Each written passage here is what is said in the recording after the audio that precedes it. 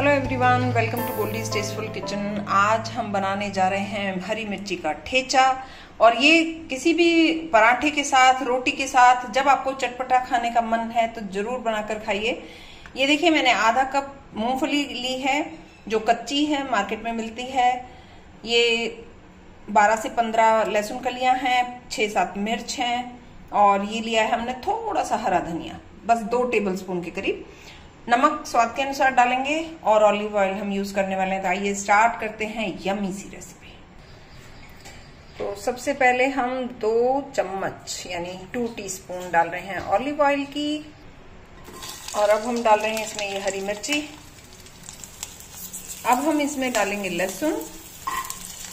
लहसुन की कलियाँ भी हम अच्छे से इसको चटकने देंगे, भूनेंगे स्लो गैस पे इसको करेंगे और बहुत जल्दी बनती है। साथ ही हम डाल देंगे ये इसमें मूंगफली, ताकि अच्छे से रोस्ट हो जाए। हमारा ऑयल थोड़ा ज़्यादा मुझे लग रहा है, आप एक चम्मच ही डालिएगा हाँ? तो एक चम्मच तेल में ही बहुत अच्छे से भुन जाएँगे।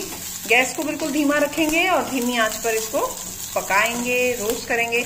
आप इसको तवे पे भी बना सकते हैं, बट मुझे कंफर्टेबल लगा, चलो फ्राई पैन में बना लेते हैं बट तवे पे भी आप इसको रोस्ट कर सकते हैं। ये देखिए, ये भुन गई है। मैंने वीडियो ज़्यादा लंबी ना हो, इसलिए आपको नहीं दिखाया है। लगातार चलाते हुए हमने इसको अच्छे से भून लिया है। तो अब हम ठंडा होने का इंतज़ार करते हैं, क्योंकि हमें इसको फिर कूटना है। इसमें हम नमक, हरा धनिया और नींबू ऐड करने वाले हैं।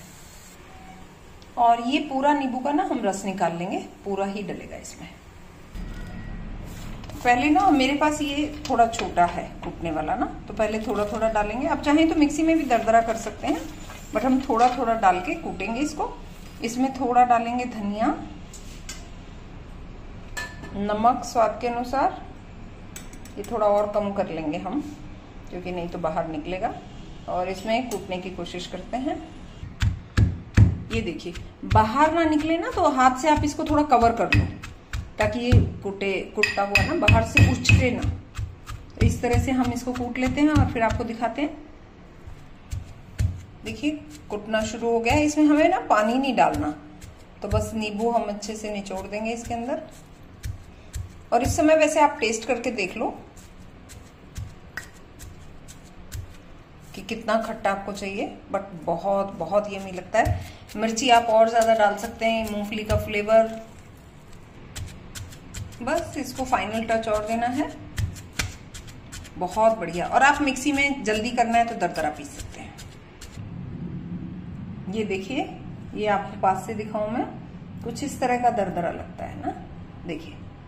बहुत अच्छा। और ज़्यादा हरी मिर्च डालेंगे तो हरा कलर हो जाएगा। आइए करते हैं इसकी प्लेटिंग